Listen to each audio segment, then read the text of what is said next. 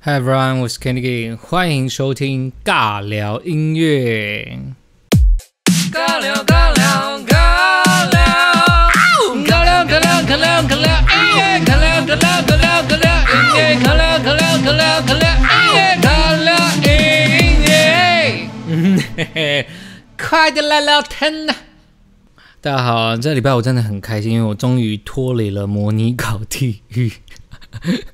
上礼拜真的太累了，上礼拜我真的是早上七点多出门，然后晚上十九点十点才回家，然后整整一个礼拜都这样子给我 精神轰炸。然后这个礼拜终于比较有空，然后也比较有时间，好好的来做自己的事情啊，然后跟分享今天要分享歌曲。那我觉得这边在分享歌曲之前，我可以跟大家分享一下我最近在干嘛。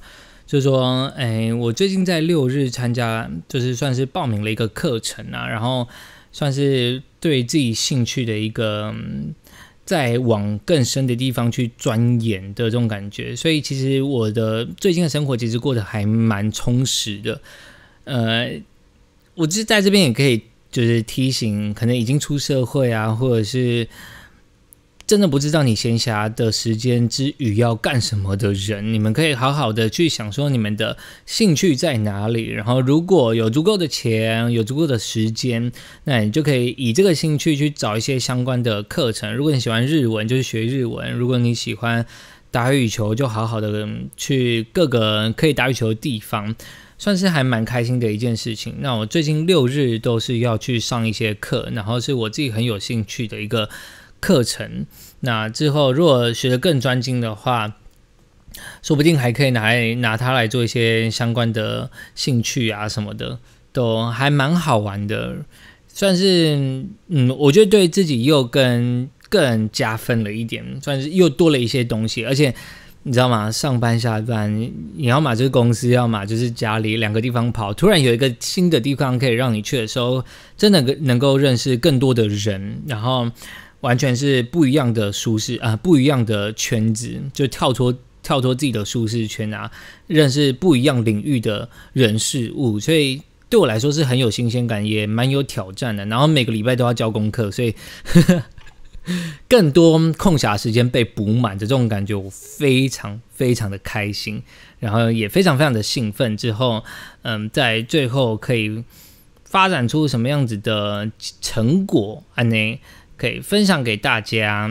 然后今天要介绍的两首歌曲呢，第一首歌是来自魏如萱和许光汉的《什么跟什么有什么关系》。那这首歌呢是收录在一张专辑，有二十四位歌手，总共有十一首歌的专辑当中，叫做《不完美人生指南》。那这十一首歌跟大家分享一下。呃，分别是陈绮贞跟诡辩的完整的我，还有周深和王子的资深庸才，然后阿令跟倪子刚的不屑完美，还有刘若英柯志堂的每天的不理想，然后毛不易棋子谈的爱恨森林。和徐佳莹、哈许的进化，然后蔡健雅、王源的在哪里都很好，莫文蔚、郭一凡的自洽，还有我等一下要介绍到的魏如萱、许光汉的什么跟什么有什么关系，跟苏运莹、陈宁儿还有艾怡良的聊天室，以及马思唯、Nine One 跟 Mazka 的将错就对，这十一首歌曲，那大家发现，No。我的我的赖出来打断我了，我忘记关喇叭了。好的，那这十一首歌曲呢？大家有发现卡斯非常非常的 非常的大吗？有陈绮贞，有阿令，有刘若英，有莫文蔚，有蔡健雅，还有艾怡良、徐佳莹啊，还有刚得到金曲歌后的魏如萱。所以其实卡斯是很大的。但是我自己在听完。这张专辑，老实说啦，嗯，我自己觉得有点可惜，就是他们，因为他们的专辑的概念就是以不完美为出发点，那不管是呃什么人生的不完美啊，像是感情上啊、友情上，或是外表、年龄、岁月上的不完美，其实大大小小他们都有讲到。但我前面说可惜的地方就是。这张专辑的宣传啊，跟推广还有整合，我觉得都没有到一定的程度，诶，就好像只是这二十四位歌手个别出的单曲一样。所以这整张专辑听下来，就是你知道他们都在讲不完美，但就。更像是一个作文比赛的感觉，就他们定了一个题目叫“不完美”，然后选出这十一首最好的作品放在里面，但是没有一个整合的感觉啦。就是说，这十一首歌，你要把谁放在第一首，把谁放在对最后一首都没有关系，有点类似呃精选集的概念。那我没有说不好听啊，因为其实里面有几首歌曲的合作，我觉得是很强的，像是。陈绮贞跟鬼变的完整的我，它就是一个水火交融的合作，你知道吗？非常有火花的一首歌曲。那因为大家知道陈绮贞的声音是这么的仙女，但是诡辩的声音是很地狱的，就是两个很冲撞的声音碰撞在一起出来的作品，它其实是可以好好拿来宣传的，但是就真的，嗯，真的没有啊。到目前为止，我都没有看到，呃。我顶多就只是看到每一个歌手，然后在自己的社群上面说：“哎，我们最近发了一个新专辑，呃，发了一个新单曲，然后它是收录在《不完美人生指南》里面，这样而已。”但是如果你如果真的是个别的歌手自己出的单曲的话，我觉得可能还可以再做更大一点。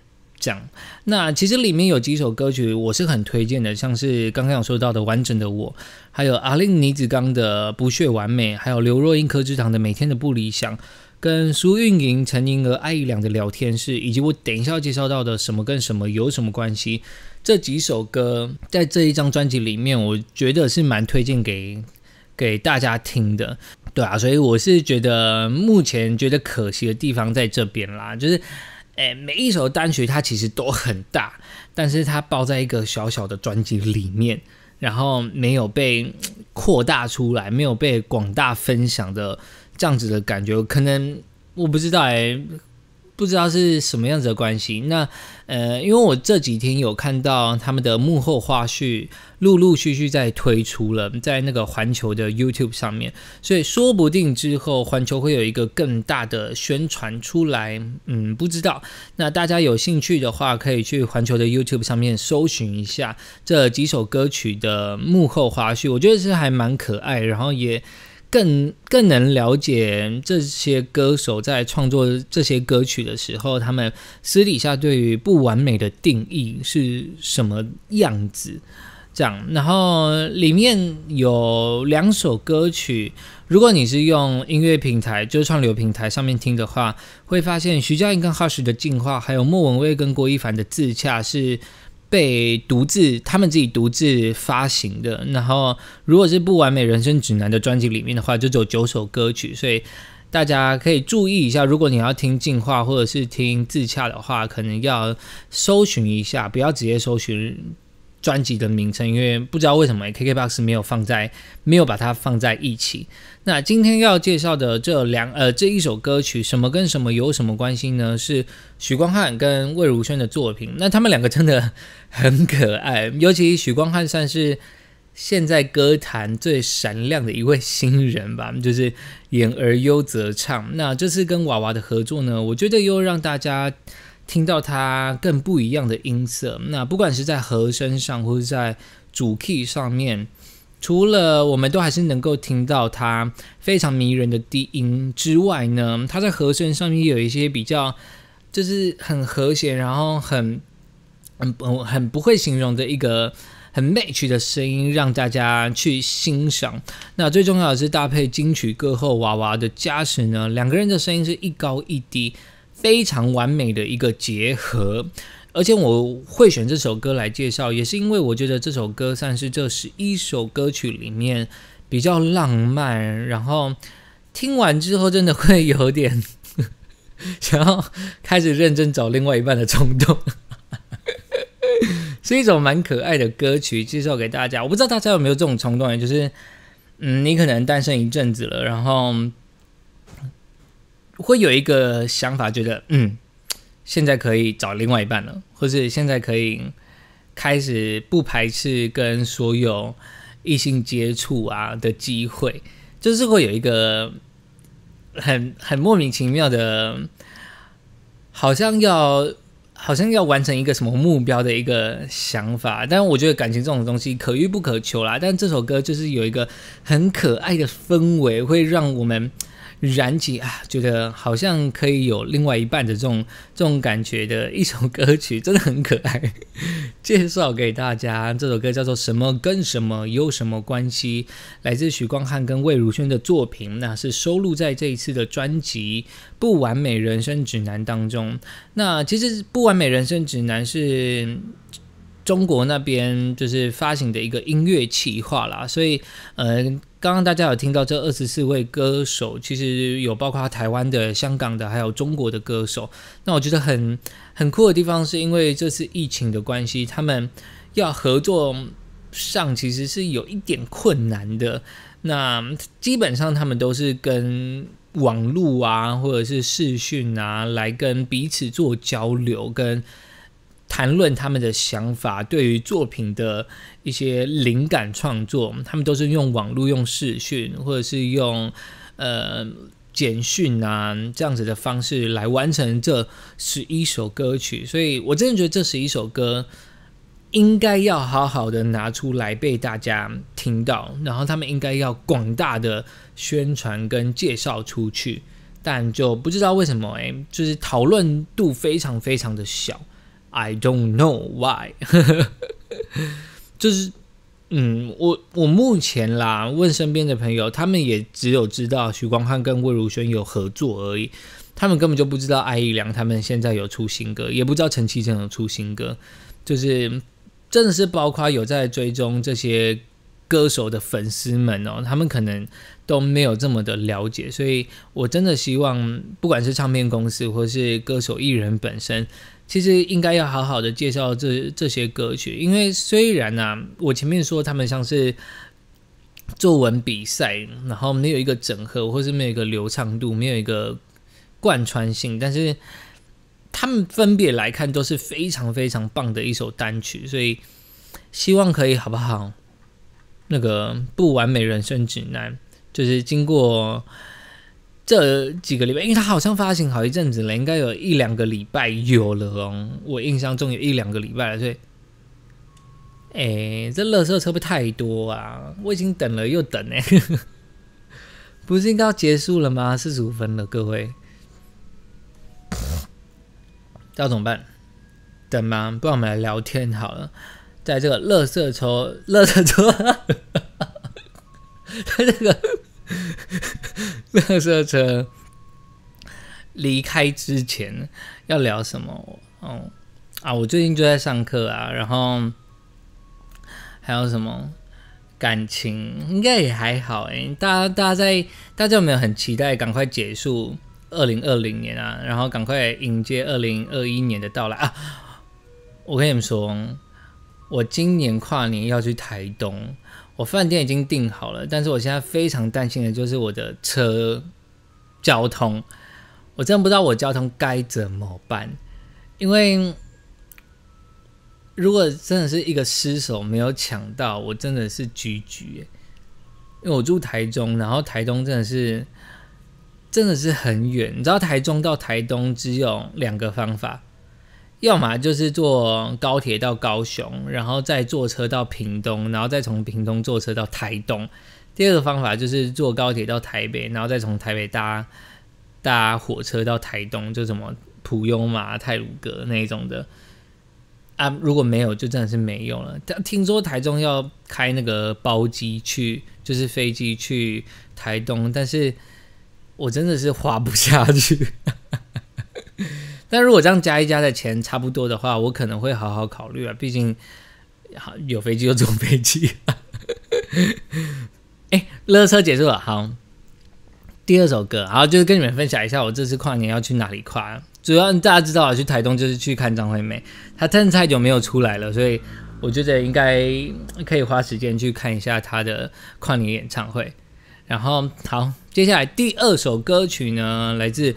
陈零九以及秋风者的陪在你身边，哎，我发现我每次介绍的两首歌啊，或者是这些歌曲，都有一个莫名的相似处，哎，就是而且这一次基本上我都是在拟稿或在写稿的时候才发现说，哎，这两首歌好像有一些相似的地方，不知道算是一个我自己选歌的默契吗？就是刚好这个礼拜可能都是以什么为主题的歌曲发行。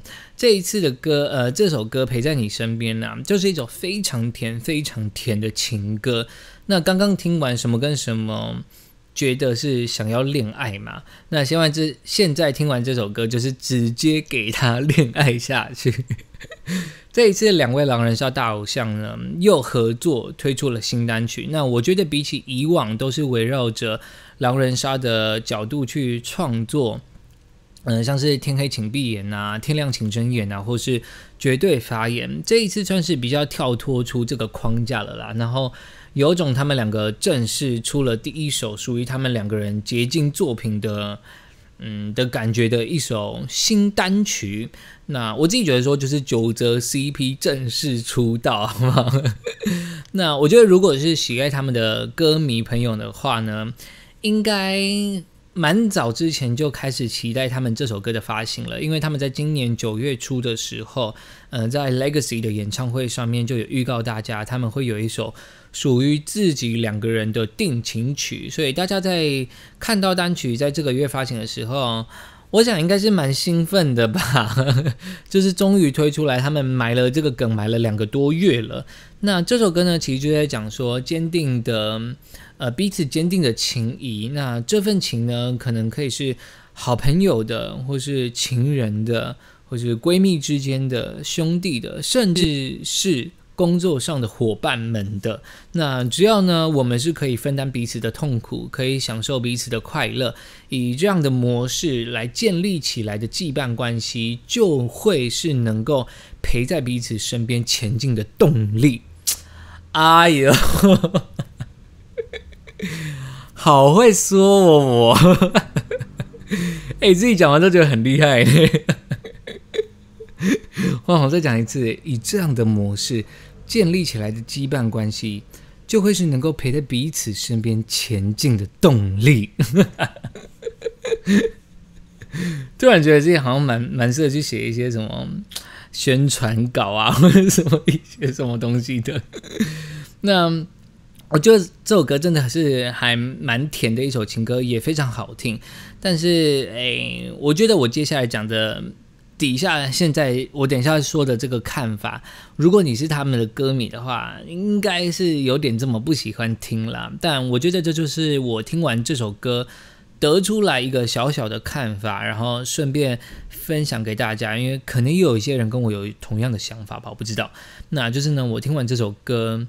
它是真的很好听哦，但是我在听的时候，我就一直觉得我好像在哪里听过这样子的旋律的感觉。我不知道，因为可能这样的歌都会变得比较大众吧，还是这样子模式的情歌真的太多了，它就会变成。其实我第一次听。我就会能够猜到他下一句要怎么唱了，但其实这也没有不好啦，因为他就是会变得很朗朗上口，然后一下就学起来了。但我觉得比较可行的地方是在，嗯，他比较没有一个记忆点，完蛋，好像要被骂的感觉。不是啊，我是要想说，应该是我们听歌听到一个阶段的时候会。比较习惯性的去寻找这首歌的特色在哪里。那像他们之前的作品啊，很明显就是以狼人杀为特色的歌曲嘛。那这一次的这首歌，我觉得比较像是以纯粹他们两个人之间的情感为特色的一首作品。它是很好听的歌曲哦，我要再次强调啊，就是大家不要误会，只是我听完这首歌的一个小小的看法是。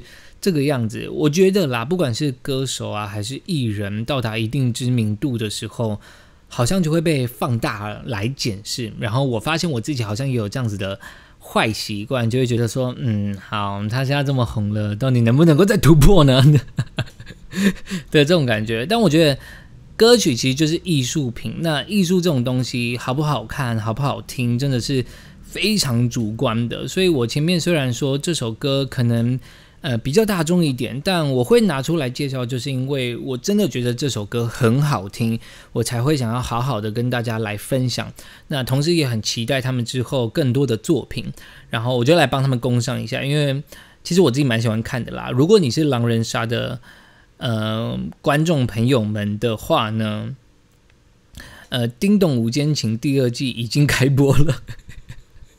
大家可以去支持一下哦，我觉得是蛮好看的一个节目。看五位男歌手打打闹闹啊，有时候其实蛮羡慕的，因为嗯，出社会之后还能遇到这样子的友情跟伙伴，很难能可贵，拜托，所以。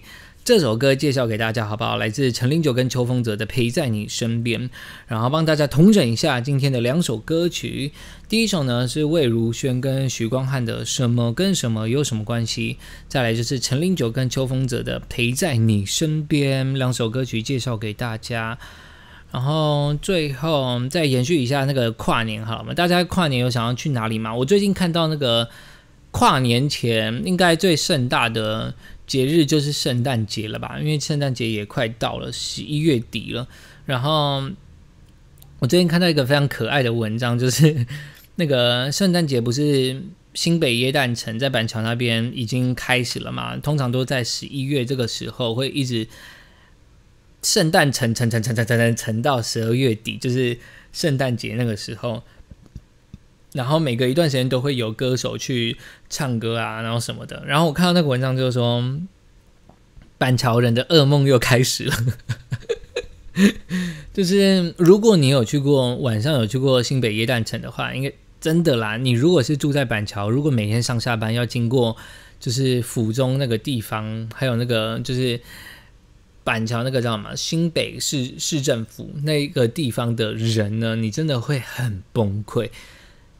它真的就是不能动，尤其是上下班时间，全部都会塞在那个地方。但是我觉得，如果你真没有去过的人，就到现在为止都没有去过的人，还是可以去逛一下。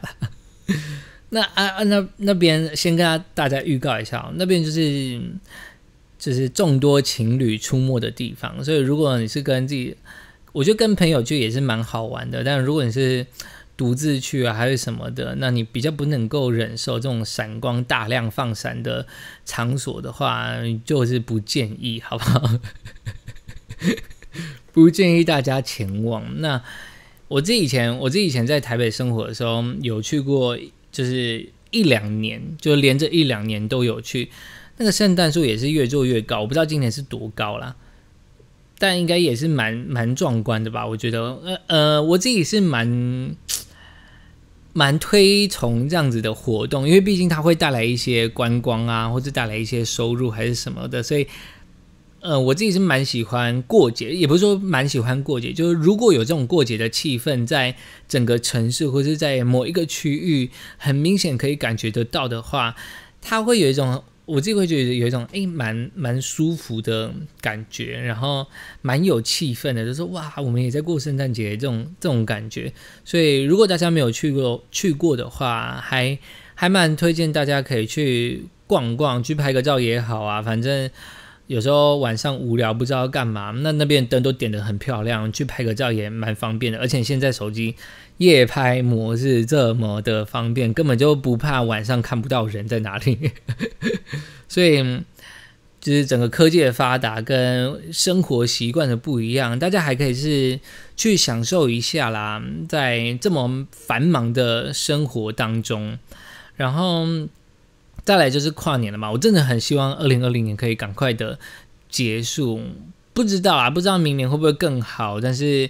赶快把这一年结束，我觉得大家也对大家整个心情上面算是一个解脱吧，仪式上的解脱，可能真的不是解，真的不是真正的解脱，但是有一种仪式上的解脱。哎，毕竟这种年份也是我们人自己定出来的啊，大自然哪有什么在过年的？没有嘛，对不对？他们也没有时间概念啊，呃，应该是也没有说什么几月几月的概念啊，所以对人来说啊，它可能是一个仪式上的解脱。那可能会帮助到一些人吧，不一定。那如果还没有规划好去跨年的朋友们呢，也可以大家揪一揪，不是跟我揪一揪，说跟你这个朋友揪一揪，好好的把这个二零二零年给完结掉，我觉得是蛮开心的一件事情。所以我就是做了一个非常棒的决定，我要去台东。我的我真的民宿那些我都已经传本本啊，拜托那个车票的部分 真的是。